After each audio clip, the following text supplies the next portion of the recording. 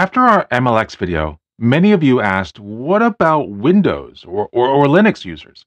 Well, today I'm excited to show you Unsloth, a blazing fast fine-tuning solution that brings MLX-like speed to Windows and Linux. If you're eager to get started with fine-tuning on Linux and Windows, this could be all you need. And since you're so eager, let's just get started with some fine-tuning. Visit the website at unsloth.ai. As you learn more about Unsloth, the less clear this website gets. It looks like they do fine-tuning, but as we will see, they don't. Sort of.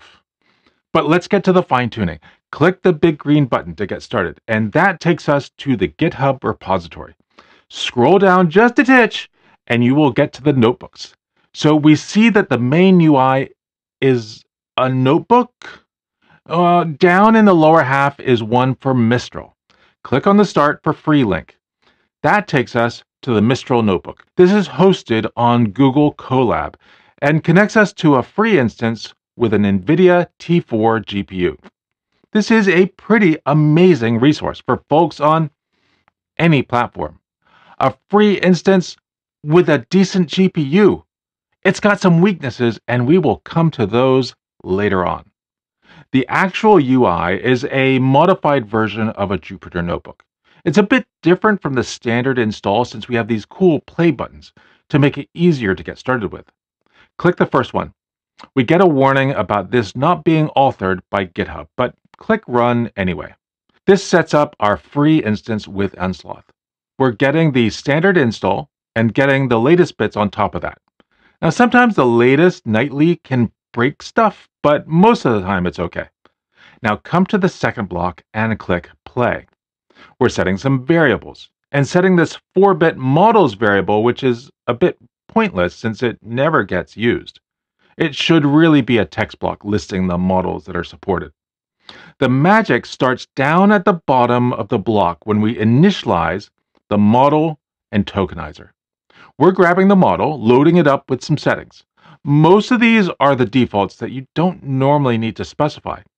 Below the block is the output from this run. It says it's patching the computer. It's not. It's patching this model that we're going to use for fine-tuning. And then we see the progress downloading the model. In the next block, we add the LoRa adapters to configure what's going to get fine-tuned. Most of this are the defaults for the Unsloth framework.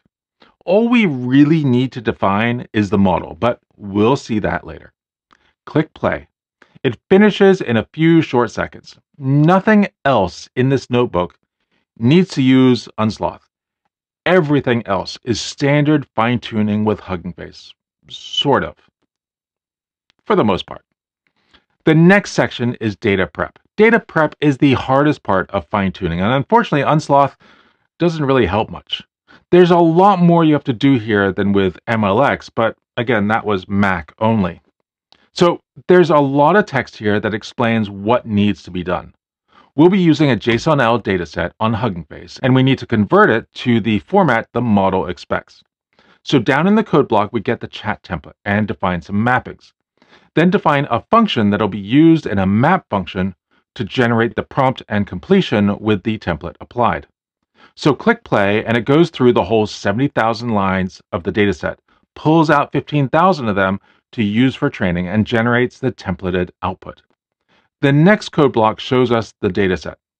First, we see the original content, and then the text field, which is what was generated by the map function.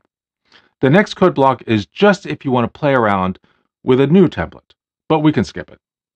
Now we get to the actual fine-tuning. This is using Supervised Fine-Tuning Trainer, which is part of the Transformer Reinforcement Learning library from Hugging Face. These are good settings to use for the fine-tuning of a model, so click play and let it run. Then in the next code block, we can start the actual training. This is going to take a while on a T4 machine, but the next few blocks are interesting. First, we see how we can use the model for inference. Then the rest of the blocks are the different ways to save the model so that you can use it later on. The problem with everything we have covered so far is that notebooks are a terrible way to do this after the first try. Also, notebooks on Colab have issues if you aren't on a paid account. There are some things that can take a while, and so you might be tempted to walk away. But if you do, you'll probably see a dialogue like this saying that your runtime has been disconnected and you should pay the 10 or 50 bucks a month for Colab Pro if you want to have enough time to go get that coffee or get your kids ready for school. You'll have to do everything again, so don't walk away this time. But for some folks that don't really want to get into it, this may be enough. I think most of you want something more repeatable and efficient. So let's look at what's really needed and start to create something better. In the last video, we looked at MLX and its incredible fine tuning speeds on Apple Silicon. We saw how it uses Apple's optimized framework to fine tune models quickly. Remember how we used LoRa to efficiently update just a tiny fraction of the model's parameters? And how we prepared our data in that specific JSON-L format with prompt and completion pairs. That whole process from data prep to getting a working model took less than 10 or 20 minutes, even on a base M1 Mac. The real magic was at the end when we could take that fine tuned model and run it directly in Ollama. All we had to do was create a simple model file, figure out the right template to use, and then run an Ollama command to add it to the system. No complex conversions, no compatibility issues, it just worked most of the time.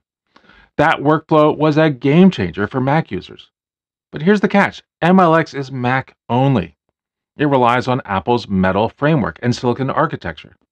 This left a lot of you asking, what about Windows and Linux? After all, not everyone has access to a recent Mac. But everyone wants those same benefits faster training times, lower memory usage, and a straightforward workflow that runs on your own hardware. Well, that's where Unsloth comes in, bringing similar optimizations to NVIDIA GPUs, whether you're on Windows or Linux or even up in the cloud. Let's clear up something really important. Something we saw just now.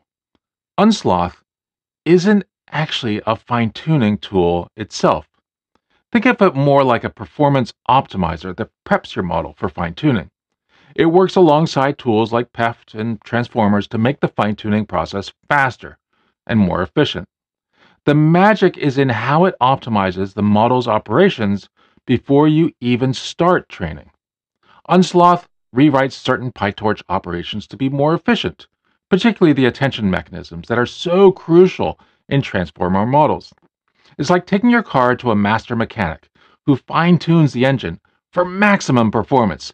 The car is still your car, but it just runs a whole lot better. What makes this special is that these optimizations work with your existing fine tuning workflow, assuming you have one. If you're already using Hugging Face's Trainer or PEFT, you don't need to learn a whole new system. Unsloth just makes what you're already doing faster and more efficient. And unlike some other optimization tools, it doesn't sacrifice accuracy for speed. You get both. Now, before we go much further, if you're finding value in this series on practical fine tuning across different platforms, hit that subscribe button. I'm building a library of real world AI engineering content from MLX on Mac to Unsloth on Linux and Windows. In our Discord community, we're sharing tips on optimizing fine tuning workflows, troubleshooting common issues, and discussing what works in production, not just in demos. Join us there if you want to compare notes on memory usage, training times, and, and model performance across different setups. Drop a comment below with your current fine tuning challenges, whether it's memory constraints, training speed, or, or getting models into production. I read every comment and I use them to plan future videos. Before we dive back in, there is something crucial you need to know. Unsloth only works with NVIDIA GPUs. If you're using AMD, unfortunately, this isn't going to work for you. This isn't just a limitation of Unsloth. Key components like bits and bytes and flash attention require NVIDIA's CUDA architecture. For this demo, I'm using Linux with an NVIDIA GPU. More specifically, this machine has eight H100s, thanks to Brev. But here's what you'll need. An NVIDIA GPU with CUDA capability 7.0 or higher. Python 3.10 to 3.12, not 3.13. Many ML libraries like PyTorch and their dependencies haven't been updated for 3.13's changes yet. Apparently 3.9 will work for some things, but 3.10 to 3.12 is better. CUDA drivers and toolkit installed, and at least 8 gigs of VRAM, though more is always better. Quick note about Python versions. While Python 3.13 is out, it introduced some breaking changes that affect how C extensions work. Most ML frameworks and their dependencies haven't caught up yet, so stick with 3.10 to 3.12 for now. The NVIDIA requirement is non negotiable because Unsloth relies on several NVIDIA specific optimizations, such as the Triton compiler and XFormers optimizations. If you've got your NVIDIA GPU ready, let's set up our environment. There are several popular options for managing Python environments. You could use venv. It's built into Python and it's simple but basic. You run python m venv unsloth-env, or whatever you want to call it. And then source unsloth-env slash bin slash activate. Option two is to use Conda, which offers better dependency resolution and is especially popular in machine learning. Conda create n unsloth-env, again, or whatever you want to call it. Python equals 3.10. And then Conda activate unsloth-env. Finally, there are all sorts of newer package managers like UV and others. They all have their own workflows, but typically, after you've set up the environments, you can use the standard toolsets to install everything. I'm using Conda here because it handles CUDA dependencies better, but any of these should work. If you're new to Python environments, stick with venv. It's built into Python and it gets the job done. And it's always better to keep Python as simple as possible to avoid the inevitable problems that always pop up with Python environments. Let's go back to that Mistral notebook from before and go through each of the steps and convert it into a more usable Python script for you, pointing out what actually needs to be done along with some of the awkward choices in the original notebook. The first main step is to install Unsloth. I actually had to also install a few other things, so there's a requirements text file you can find in the repo linked to in the description below pip install-f requirements.txt to get those installed. This is, of course, after you set up the environment. Now we move on to the unsloth block. We can go ahead and add the imports to our code from unsloth import fast language model and then import torch. The 4-bit model's assignment does nothing, so skip down to initializing the model and tokenizer.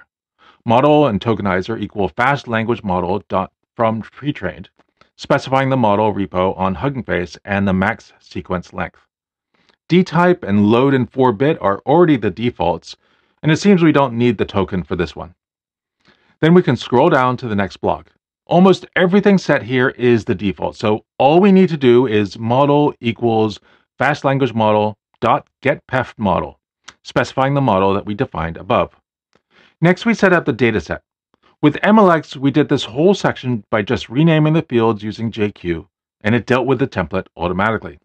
It's a bit annoying that we have to do this manually here, but we can get the chat templates and specify a remapping.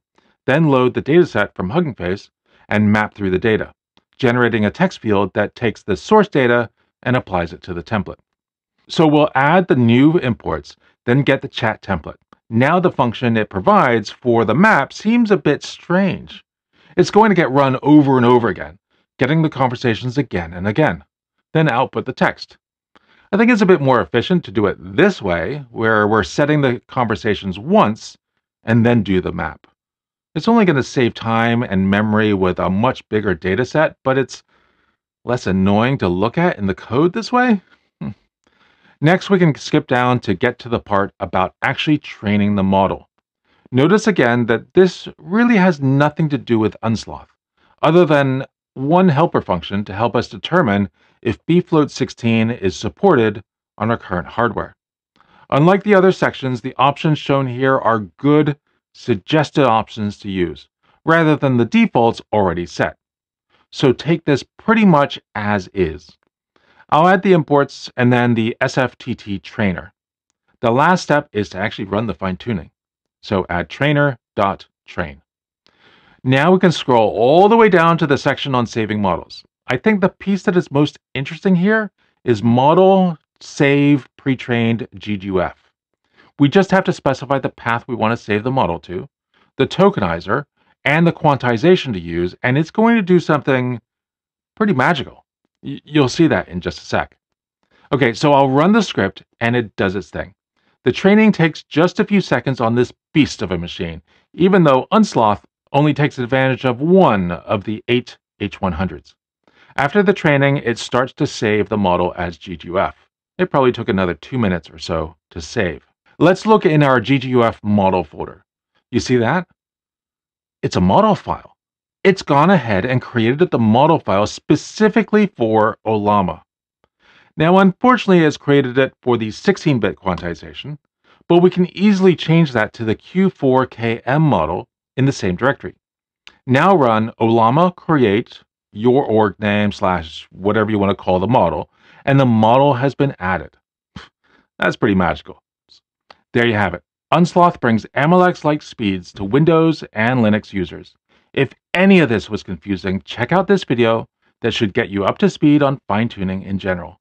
Whether you're using a local RTX card or training in the cloud, you can now fine tune models in a fraction of the time. Drop a comment with your fine tuning results and don't forget to check out our Discord community for more tips and tricks. Thanks so much for watching. Goodbye.